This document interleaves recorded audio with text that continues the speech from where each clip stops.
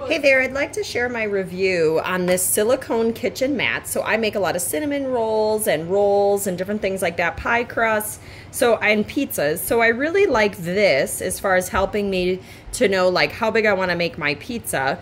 There's also some measurement suggestions down here as far as grams to cups if you're needing that, you know, broke apart. Plus you can see on the outside of the edge you have the cutting as well and then use and care so it's a non-stick mat and that's what I love about this when I am making my pie crust pizza crust things like that I can use so much less flour on this mat um, you just have to wash it with warm soapy water. It is dishwasher safe, although honestly, I just wipe mine down with a wet rag and soap and dry it off and put it away.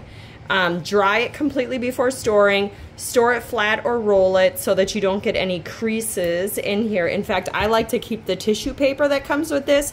And once I dry it, I lay the tissue paper over the top. I flip it in half, flip it in half again, and then flip it in half again. And I actually store mine in my kitchen drawers. So you can see I have a bigger one here. So I absolutely love these mats just because of the less flour that I need to cook on them.